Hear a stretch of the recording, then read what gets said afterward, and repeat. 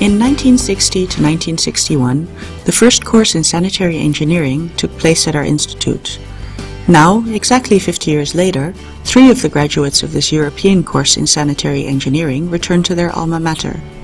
Bill Ferguson from the UK, Erling Solberg from Norway, and Gerard van der Kroon from the Netherlands, aside from taking a tour of the current facilities, they discussed the institute then and now, and developments in their field over the last 50 years with current UNESCO IHE students.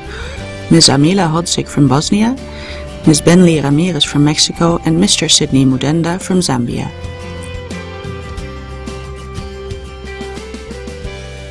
I was um, uh, then at um, the Waterworks of Oslo, and uh, there was a young engineer.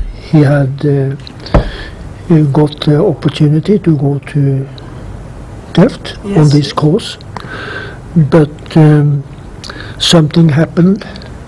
He was not able to go to the, this course, and. Um, I was a colleague with him, and he asked me if I was interested, and uh, I really was, of course. Yes, yes. I was a lucky man. I uh, was appointed to Mosterdman, and since I met Mosterdman and I finished my study at the TH University, Mosterdman um, promised me take this course and afterwards you be employed by the university. I, I think I said immediately, yes, I do. so uh, he and he and I, we stepped into the course, and uh, I was his uh, his first uh, assistant. Just where I, I, I saw of this particular course, I cannot rec- recall. now. no. I, I was not sponsored by my firm or my uh, country, but I managed to raise half of the funds myself, and then I, the NUFFIC, Queen, Queen Juliana, came, came up with some additional funds, and that was why I, I got here. Yes.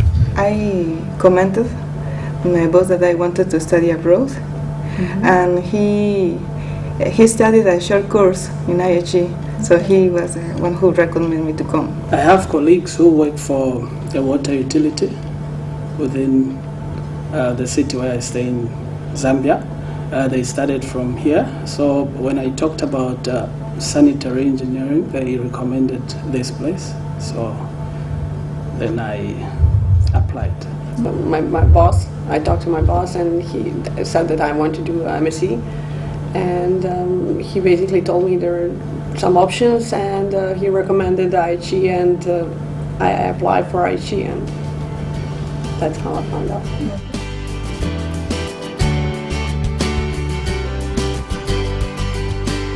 Oude Delft 95 was our heart, our lecture ground, and every, everything else we had to go somewhere else for. And like Erling and Gerard, I was much impressed by the sheer scale and equipment and the cost of the things going on in the laboratory. But uh, we have to think these things are fine at laboratory scale. They have to be done perhaps on pilot scale, and then before they can go out really out into the world. At first, I am surprised how big it is, and I also surprised to see the area, the the laboratory area, and also the equipment um, um, uh, which are at disposal f- for the students. Today it was very many new instruments I haven't seen before. So I was a little surprised, but uh, also satisfied to find it had been a positive development. At our time, it was goose goosey, small, direct contact with the staff. We met the staff consisting of four people, Uh, they gave us the lecture notes. Uh, the professors, the same. There were uh, very good contacts. So it's all on a small scale that had this uh, that had its uh, special as- aspects. The, as far as I remember, in Oude Delft uh, 95, there were two floors and there were classrooms. That was it. And with little lockers that which, which you could collect our notes of what was to happen and so forth. And we got tea or coffee one time in the, in the morning and the afternoon. Otherwise, we went to the chemistry laboratory, Scheikunde, as it's called there, and we did a very basic uh, type of laboratory there. where We did titrations and so on, Yes, not always successfully. always out outdoor. Huh? Uh, yeah. And also microbiology, which I was much more impressed really with microbiology, except we were doing things in microbiology on a Friday evening, and we were going home almost screaming mad after the day, and these uh, tests with respirometers and whatnot, of which I was not very successful, I'm afraid.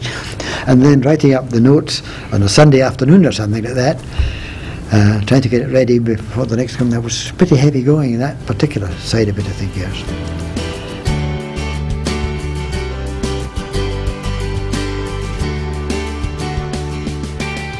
And maybe a long time ago, the, the idea of recycling was not there. It was like end of pipe approach. You just treat and dispose. That's all. You don't think of bringing back the the, the effluent or u- utilize the effluent. But nowadays, you have to think of uh, recycling and getting whatever you can get from the uh, from the waste. Well, uh, I, I was here 60, 61, and in 64 to 68 was when I was appointed to a post for the design and the management of construction of treatment works. That was my last hands-on experience. Thereafter, I became at arm's length experience from the government, and a big change in regional government took place, where big regions were formed, which were so big that they didn't want anybody to tell them what to do, and um, you know. The, they had to, to speak to the government to be allowed to do it, to get borrowing consent to do it, but they didn't really want uh, to interfere too much. There were also small ones, of course, where we could advise a bit. But it's also a time of change in that the North Sea oil developments were coming on at that time. So, and these were particularly in remote parts of the country, in the Highlands and the Orkney Islands, the Shetland Islands, where had very basic infrastructure.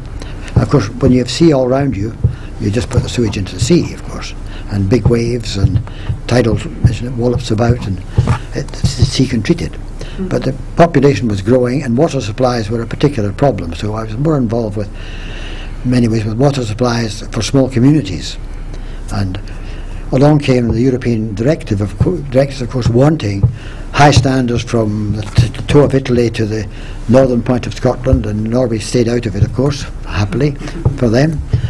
And regardless of the resources you had, such as sea all around you and big waves and tidal currents and so on, you should still treat it to the same standard as somebody in the middle of the Ruhr.